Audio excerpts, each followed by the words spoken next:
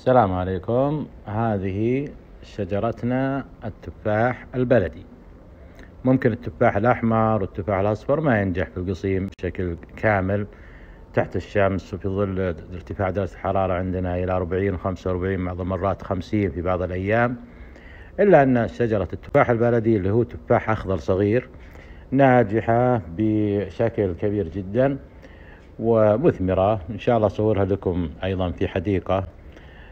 إحدى العملاء إن شاء الله في بريدة كبيرة جدا وين عمرها 13 سنة مليانة تو بدأت تثمر يعني. شوف الحين هنا هذه أثمرت هذه التفاحات الصغيرة.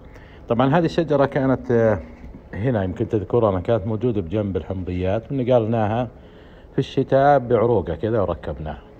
لأن قلنا النقل في الشتاء فقط متاح بدون الجذور بدون تربة على الجذور لكن بعد ما يقضي الشتاء يعني بعد بعد شهر اثنين خلاص. بيكون نقل الأشجار لابد أن يكون في تربتها يعني تحفر لها من هنا من هنا وتظبطها بحيث تضبط الوضع أن تطلع الشجرة معك هي وحوضها. تقدر تنقلها صيفا وشتاء طبعا ما في أي مشكلة يعني.